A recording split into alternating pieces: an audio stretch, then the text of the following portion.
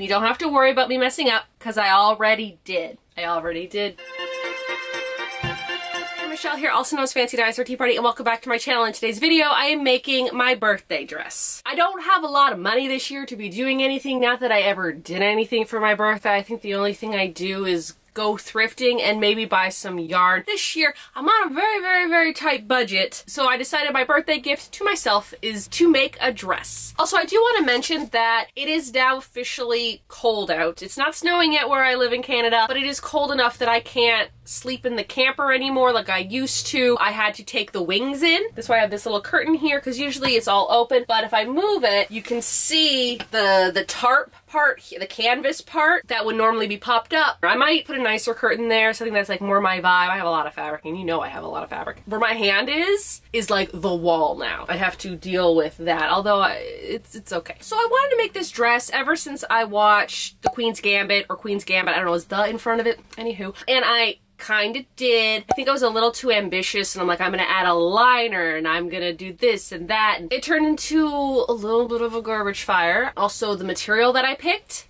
it was on sale for a reason. It was on sale for a reason. It was very staticky, very clingy. Everything clung on to it. It wasn't fun, and I've never worn it. I've never worn it, and I think it was the way I put the lining in didn't sit right. I think I made it a little too big, so it was like oversized, and this is the type of dress that I can't really get away with being oversized. So I decided I'm gonna redo it, but I'm also gonna use a different pattern this time. About a month ago, I had thrifted these two fabrics. Actually, I didn't thrift both these fabrics. This fabric I thrifted for I think five, six dollars, and this one I bought. I think it was like six dollars a meter, and I got three meters, so like eighteen dollars. I literally bought this one a few days before I bought this one, and I really wanted to make the the dress, the pinafore type of dress, which I will I'll show you right here with the style that I'm looking for. I was gonna make it out of this and do like kind of a test run in a sense, as in if it didn't work out with this, I could learn from the errors of my way and make a good dress out of this, but I don't got time for that anymore because I want this to be my birthday dress, so I'm just gonna go for it. This one I probably will end up making a dress out of, but not today, not in this video. I've already pre-washed it. Again,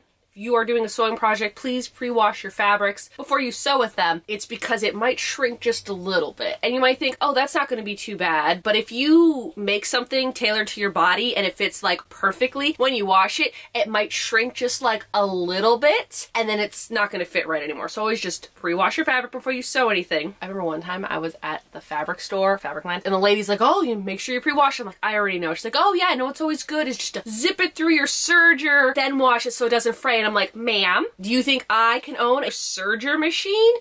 No. Do you just think because I can buy $5 fabric, I can also buy a $300 machine? A anywho, okay, let's get back into what I was doing, and that's making a dress. I actually got this free pattern online, and it is called the Gambit dress, and it is from Mood Designer Fabrics. You can get it free online. I think you just gotta put your email address in, and then again, all you gotta do is print it all out, cut it all up, tape it together, you got a pattern. There is a little bit of difference between this pattern and the last pattern I use. I think this one's gonna be like a little bit easier, and in my mind, I'm visualizing, hey Michelle, this is gonna be a super easy project. We'll see. If you print it out, you'll get kind of like this, and I've just kind of like circled the parts that I'm using for mine. There is a little size guide like right here, but it's like dashes and dots, so it's kind of like Morse code, and then it just corresponds to these lines down here. So here's the thing. The last, mm, the last Queen Gra Gambit, the last Queen Gambit's dress that I made was uh, from this pattern here. And then I have this pattern here, which I didn't cut out all the way.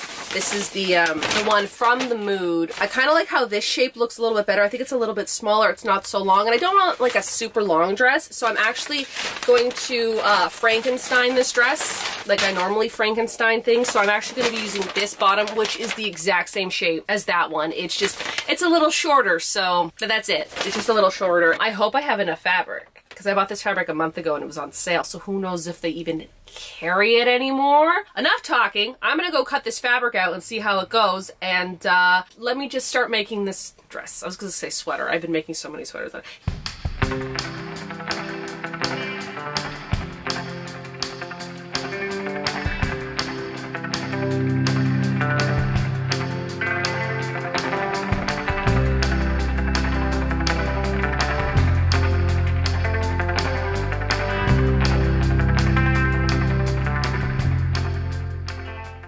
So I went into my basement It's the only place that has carpeting in my house. That way it's easy for me to put the pins in the carpeting so like my pattern pieces don't move. So I got everything cut out and I'll show you what I cut out. I am honestly really surprised that I didn't need any more than three meters of fabric. I don't know. I don't know if I could have gotten away with two or two and a half meters. I think three was perfect, especially because of how big the skirt pieces are. Top pieces, super simple, got a lot of room for that. But this is all the fabric that I have left over. Usually the pattern will tell you how much fabric you're gonna need. I always just buy a little bit extra just in case I mess up. They are a little, a little bit see-through. The material that I have, I don't have enough to make a liner. I also didn't buy fabric to make a liner. Again, I do not have money right now. I don't think I'm gonna make a liner. I think what I'm gonna do is I'm gonna buy myself like a black slip skirt or you know just something to go underneath it so it's not see-through one piece here and then I have the oh this is the big piece and then I have the other piece. I was having brain fog when I started doing this project because I'm like, wait a minute, if I cut it this way, then the lines are gonna go diagonal. I don't want them diagonal, but how do I cut it straight? But if I cut it straight, was in my head for at least 20 minutes trying to figure out how to cut this. And then I cut out two front pieces, the back. If they don't line up, I'm not, I'm not a stickler for things lining up. I'm not that high into sewing that everything needs to look super professional. I just want it to look cute. Again, there is a front and there's a back because of how thin they were. I didn't realize how thin this material was. When it's like folded up in a nice, neat little package for so long, you think it's a thicker material, and then when you unwind it, you're like, oh, this material is not how I remembered it when I bought it a month ago. That's essentially it. So what I'm gonna do now is I think I'm gonna pin what I need to pin together. I don't know if I'm gonna start sewing today because this doesn't look that complicated. I think I'm gonna look at the directions because that. I never do that. I never look at the directions because I'm like, I don't need the directions. I might start sewing today and I might start sewing tomorrow. I don't know.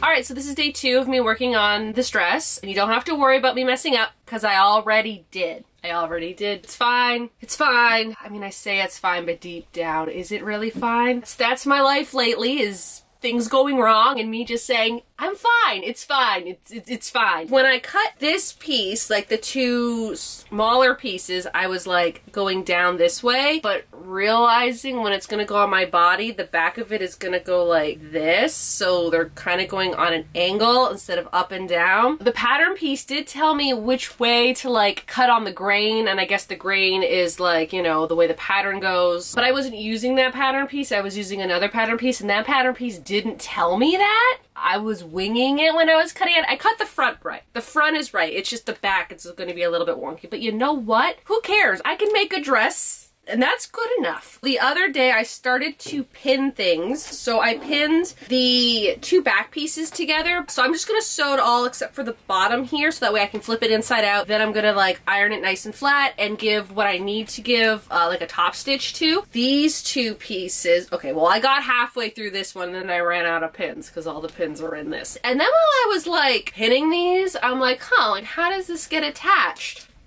I forgot to cut out other pieces. So I cut them out. It's all cool now. These pieces here. I originally thought it was just going to be this piece, like this, right? But no, it's a learning experience. So right now, I am just going to stitch what I can and then I'll come back and figure out how to attach it together because the dresses that I do are very simple and this one is also very simple, but it's a little bit more complex than what I'm used to, so.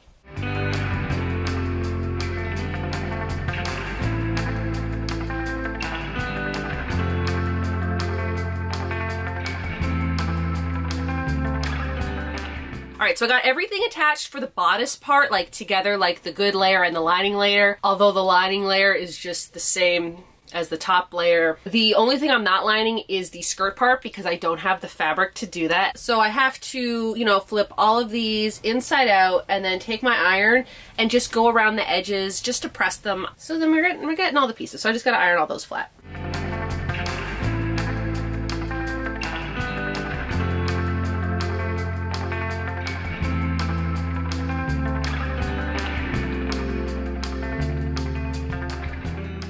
Probably can see, I am losing light fast. The time is currently 2 o'clock. It feels like it is 6 p.m. I have no concept of what day it is, what the actual time is besides looking at a clock. And uh, lately I don't even know what year it is, so great. This slanty part is supposed to go like this, which makes a lot of sense. Looks like, say, these two pieces. I think I have to like attach this. I just want to pin this just to see if I'm doing this right. That's a problem that I have is I just do not like following instructions. I see something and I'm like, I can do that, but I can't. That's pinned and then like this turned.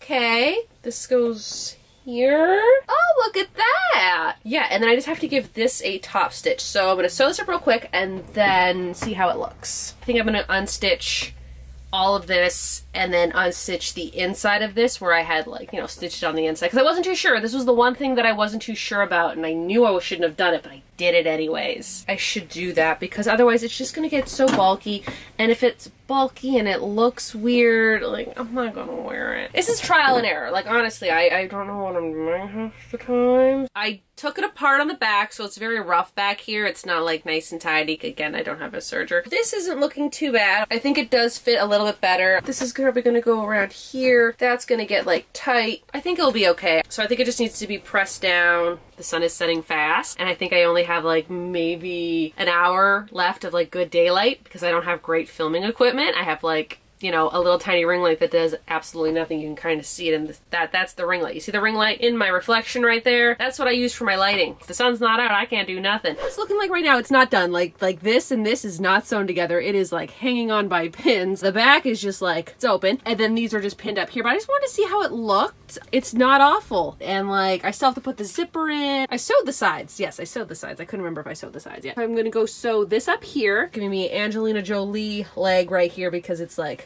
open. I gotta sew these together. It's like false hope right now. Like right now, it's false hope. It's like, hey, Michelle, you're almost done this. But you're not. Like something's gonna happen. So we will see. Okay, so what I ended up doing was I sewed the panels of the skirt together and then I pinned the panels to the bodice. And now I'm going to sew it up and try it on and see how it looks.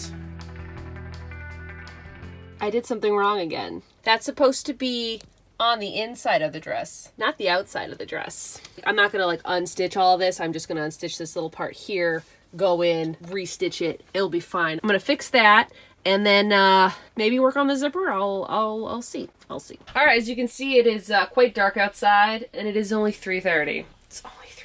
Feels like it's 7 o'clock and I should be starting a crochet project while watching TV in bed. Nope, it's the middle of the day. Here I am. It took me like 20 minutes to stare at the fabric thinking, wait, what side's the good side? What side's the bad side? And it was giving me a headache. So, um, I don't care. I don't care. I can't tell. If some old lady comes up to me in the middle of the street and is just like, hey, your material's backwards. It's not gonna probably happen, so I'm just not caring right now. All I'm doing is just repinning it together the right way this time. I know it's so funny is that the first the first time around that I was, you know, stitching the panels up on the skirt, I'm like, you know what? Maybe I should like do the zigzag stitch. Then I won't have to do it later. It's kind of like using a serger. But I'm like, you know what? No, I'm just going to do a single stitch. Thank goodness I did the single stitch because that would have been such a pain to unstitch all that. I'm glad that I was, uh, you know, taking the easy way and doing a single stitch. Take this to the sewing machine, just sew it all back up, and then um, I'll be at that point that I showed you previously when I was trying it on when I realized I did something wrong. And uh, then I'm gonna go get my zipper and maybe attach the zipper today, and maybe even hem it and just get the whole thing done today. So stay tuned. I know, every time I turn the camera on, I'm in the exact same spot. Well, I mean, this is the only place that I can, like, put my sewing machine. This is where I am, and I'm not gonna go stand up somewhere pretty, so. Anywho, this is the zipper that I bought. It is an invisible zipper, and by invisible zipper, it means that this is the outside, so you don't see the zipper, and then this is the inside, where you do see, like, the little teeth. I don't own a zipper foot. Like, I know I need to own a zipper foot. I mean, would it be handy? Absolutely. But another thing is that you can't just buy a zipper foot at Fabricland, which is so. Like, I once I asked, like, hey, do you have like zipper feet here? And she's like, no. What do you mean? Like, you're a sewing place. And then she suggested that I go like on Amazon. You are the fabric store. You should have all the fabricy things. Anywho, I'm gonna attach a zipper now.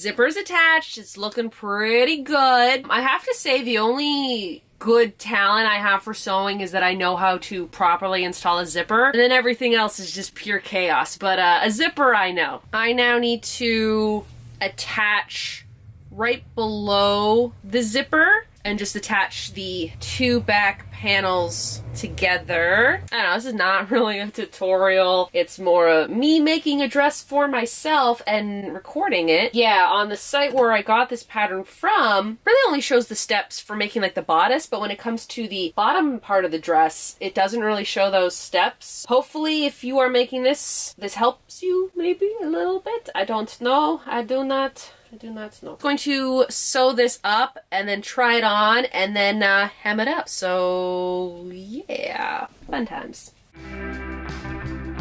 Okay, day three. If you hear a little noise, it's uh, my heater. I have that on because um, it's cold in here now. It snowed this morning. Not enough that there's still snow on the ground, but um, still had to clean it off my car. That was not fun. Yesterday I got done way more than I thought and I'm very proud of myself. Like very proud of myself. Usually when I do sewing projects, halfway through something just awful happens. I want to burn it. I didn't. I got a lot of it done. The only thing I gotta do today is any like loose threads I gotta get rid of. Oh my goodness, did I not do that to that? I did it to this side, but I didn't do it to this side. Okay, I'll, I'll do that now. On this side I did it, this side I didn't, and that was just to do a top stitch. That's super simple. I can run that through my sewing machine. It's, not gonna take too long. The big thing today is I have to hem it. When I cut out pattern pieces, I don't do a great job. The difference, I obviously cut this one a little bit shorter. I think I cut this one more closer to the pattern, and this one I, I gave it some leeway for some stupid reason. I don't know. But today I am just going to hem the bottom, fix that one thing that I just discovered right now, and then cut any loose threads. I think anything like in here, I don't really want do it. I don't want to do it. I know, I probably could just give it a simple zigzag stitch, whatnot, but I don't want to do it. So I'm going to pin this, sew it up, do the other thing, and uh, call it a day.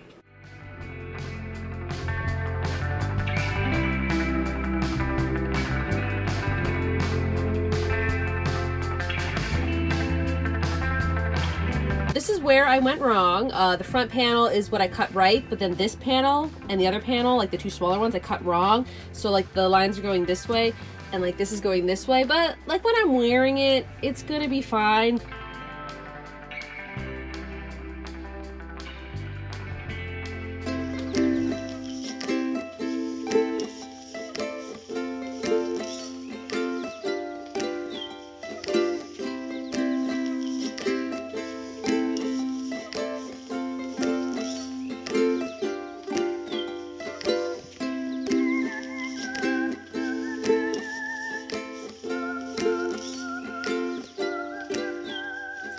Dress is done. I am freezing. My face is red because I was outside in the cold filming the try-on part. Anywho, trying to get warm now. Overall, I think it's pretty cute. I give it like a 7 out of 10, and the reason why is I probably would have given it an 8 out of 10, but um, I didn't cut the pattern properly, so you can see the two different ones. I think I can get away with it because it is more of a smaller print, but if it was like a loud, big, bold plaid, I would not have been able to get away with it. But because it is such a smaller print, I think it's okay. It is a little tight, like right here, especially when I am sitting. I wear like looser fitting items, so when something like is tight, I don't know if that means it fits me properly or it's too tight because I don't know. What I think I might do is eventually take the skirt apart from here and just lower where I had cut the little semicircle that attaches to here to make it like, you know, the nice like circle skirt. I think that will give me a little extra fabric in the back because it's the back that like right where the zipper is, is that's where it's kind of like the tightest. I think that if this was like any smaller,